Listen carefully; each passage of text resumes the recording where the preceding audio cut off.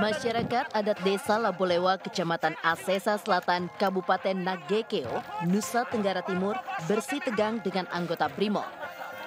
Mereka menolak kehadiran juru ukur yang rencananya akan melakukan pembangunan waduk Lambo. Dengan bersenjata lengkap, anggota BRIMOB mencoba untuk menahan amarah masyarakat adat desa Labolewa. Kami menolak pembangunan waduk Lambo yang berlokasi di Lowose. Alasannya apa, Mama? Alasannya eh, dampak dari pembangunan ini menenggelamkan eh, perkampungan, lahan pertanian, pekuburan. Hari ini kami mau menyampaikan agar supaya Bapak Sikap keberatan Jokowi juga dilayangkan masyarakat adat desa Labolewa dengan menggelar spanduk dan juga pernyataan sikap atas rencana pembangunan waduk di tanah adat mereka. Bahkan mereka pun juga menawarkan solusi dua lokasi untuk dijadikan lokasi waduk yaitu di daerah Malawaka dan juga Lawopebu.